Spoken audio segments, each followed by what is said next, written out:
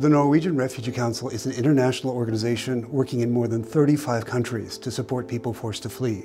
Now, each of us could probably name two, three, or four countries with refugee crises, but many of them are forgotten and not in the headlines. NRC works in all of them. To them, there are no forgotten crises.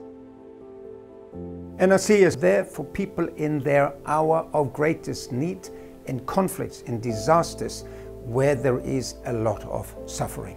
What we hope is to be there in the hard to reach areas. We're there to help people according to their needs. Currently we have last year over 300,000 of people who had to flee their homes, making Yemen the largest humanitarian crisis and aid operations. NRC in Yemen plays a very fundamental and crucial role, and that includes some activities that are not currently provided by any other agency in Yemen, included the unconditional cash intervention, uh, the legal civil documents uh, intervention, and also the advocating for um, housing, land and property rights. Our humanitarian work is about safety, dignity and rights.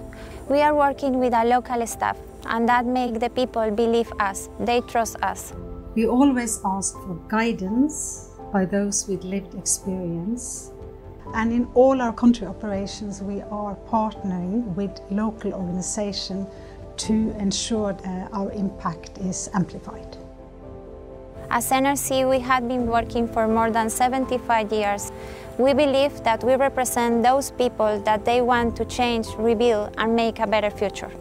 We speak on their behalf, we use their testimony without exposing them.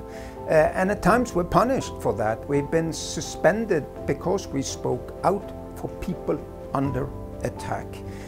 Our success is measured in lives saved or lives lost. If we're not neutral, independent, impartial, we will fail uh, on the battlefield in the crossfire between armed groups we're unarmed. We have only the principles and uh, to show for that we're there to help the civilian population.